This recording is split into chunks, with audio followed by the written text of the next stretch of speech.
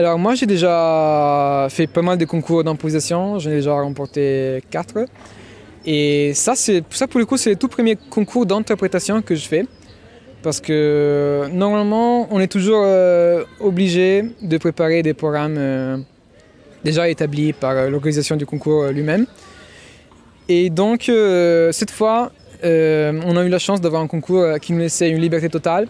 Et c'est juste, c'est vraiment pour ça que j'ai choisi de le faire, parce que sinon, j'aurais, j'aurais pas eu envie de travailler des pièces forcément imposées. Là, je voyais c'était vraiment l'occasion parfaite pour euh, montrer un projet personnel qui m'intéressait, et donc c'est pour ça que je le fais. Donc c'est la première fois que je fais un concours d'interprétation.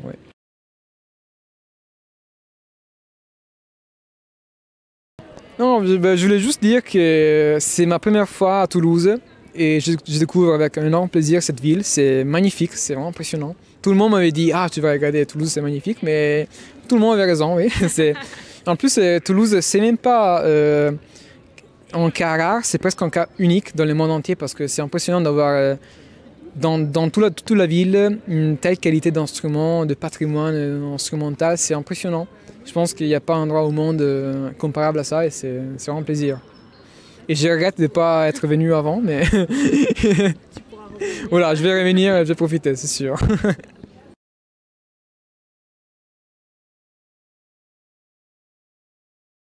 J'ai pas vraiment de solution magique. Il faut vraiment être euh, confiant en soi. C'est une préparation plutôt mentale dans le sens où tu dois bien connaître déjà à l'avance l'instrument. Et moi, honnêtement, euh, à chaque fois que j'ai un concours, j'essaie vraiment d'apprendre par cœur la totalité de l'orgue, de la disposition de jeu, c'est-à-dire les sonorités que je peux utiliser ou pas, et de préparer au mieux le travail pour les assistants, c'est-à-dire ceux qui, à côté de moi, pendant que je joue, vont m'aider pour changer tous les jeux et les sonorités. Donc. Et ça, je pense que l'organisation comme ça, c'est déjà quelque chose qui t'aide énormément. Donc il faut arriver déjà prêt.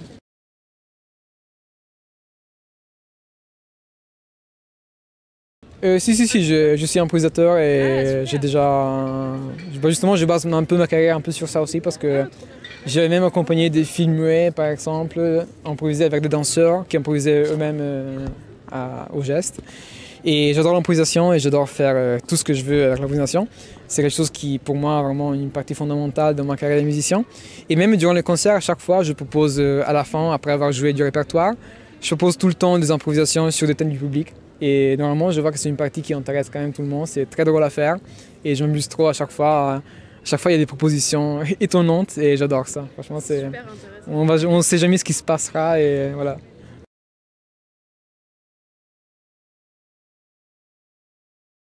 J'espère. Euh, honnêtement, je suis quand même malgré tout assez optimiste parce que c'est vrai que c'est un instrument compliqué, etc. Mais je pense que les nouvelles technologies et tous les réseaux sociaux vont réussir un petit peu à, à diffuser la vraie image de l'orgue. C'est-à-dire qu'avant, les gens euh, n'étaient pas forcément disponibles à rentrer dans les églises pour écouter des concerts. Maintenant, ça peut arriver que justement, grâce à Internet, quelqu'un pourrait rencontrer l'orgue de quelque manière. Euh, je ne sais pas comment, mais ça, on va voir un petit peu. Mais justement, grâce à Internet, grâce à tous les réseaux sociaux, je pense qu'il y a déjà pas mal de gens qui font pas mal de travail très intéressant pour justement le côté médiation, qui aujourd'hui, surtout aujourd'hui, est hyper important. Et l'orgue a vraiment besoin de ça. Parce que l'orgue mérite euh, une médiation appropriée et une médiation qui lui permet vraiment de s'exprimer et faire en sorte que les gens comprennent vraiment ce que c'est l'orgue. C'est un défi important.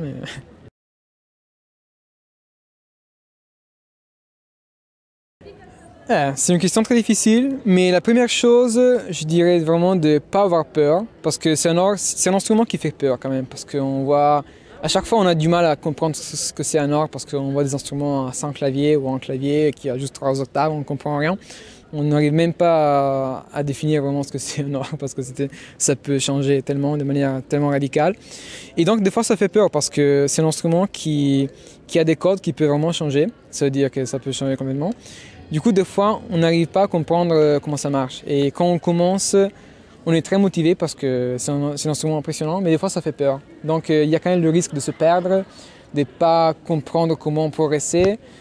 Et la meilleure chose, c'est vraiment d'être suivi par euh, des très bons profs, des, très bons musiciens qui sont là, même pas, pas forcément professeurs, mais juste euh, quelqu'un comme moi, j'ai eu la chance de rencontrer Hugo Leoni justement, quelqu'un comme ça qui te guide un petit peu, qui te fait découvrir un petit peu l'histoire de cet instrument, des facteurs d'orgue, du répertoire, et voilà.